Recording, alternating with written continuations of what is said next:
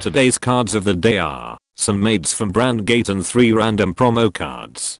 Go out 3 cleaning sisters is a set order card, while in the order zone, gives all your front row units to K-Power during your turn. In a game oversaturated with wannabe idols, it's about damn time we got maid theme cards. Butch Weston Mopey when place on rear guard, lets you pay 1 counter blast to add either a go out 3 cleaning sisters set order or Butch Weston brash from the top 5 cards of your deck. I would have never thought that you can use the tags, maid, robot, and DJ all in one search result until this card came along. But regardless, expect everyone to compare this card to Parlor Dragon Maid for simply being a maid with twin-tail blonde hair. Butch Weston Brash when place on rear guard, lets you pay 1 counter blast to add either a go out 3 cleaning sisters set order or Butch Weston Wibble from the top 5 cards of your deck.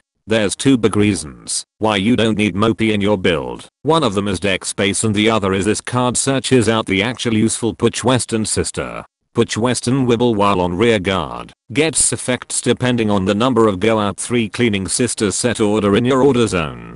She gets 5k power during your turn. If you have one or more, she cannot be chosen by your opponent's card abilities if you have two or more, and she gives all your back row rear guards 5k power if she's in the central back row rear guard if you have three or more. Monika from the Doki Doki Literature Club has uploaded her conscience to Planet Cray and has created herself a physical body. We are screwed both literally and physically. Severing Magic Swordsman Elegos while on rear guard lets you put another rear guard into your soul when he attacks a vanguard while you have a Favronil vanguard. To retire one of your opponent's rear guards then countercharge one card if the sum of your Dark States cards in your soul is 13 or more. Did Favronil seriously need a countercharger? All that card needs at this point is a way to restore its twin drive after a standing, and it'll be every Vanguard OC fanfic writer's wet dream.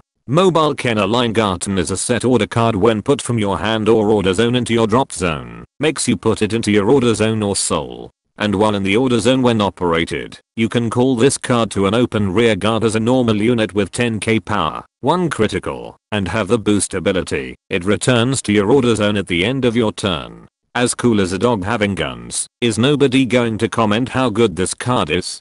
Not only is this a right deck fodder, it's basically indestructible. If Bushiroad Road ever gave us a way to take out set orders in the order zone, since it can just go back. Finally, Sincere Fairy Dareen, while on the back row rear guard at the beginning of your battle phase, lets you call up to one plant token if you have a Granfir Vanguard. Then you can pay one counter blast if you have an Obelisk Rose token on rear guard to draw a card. Granfir finally has a good way to use up its counterblast instead of using random Arao support. Now if it can only do something good with it besides just restanding a random rear guard. And that concludes today's cards of the day. Be sure to subscribe and let me know in the comments how many German words did I butcher.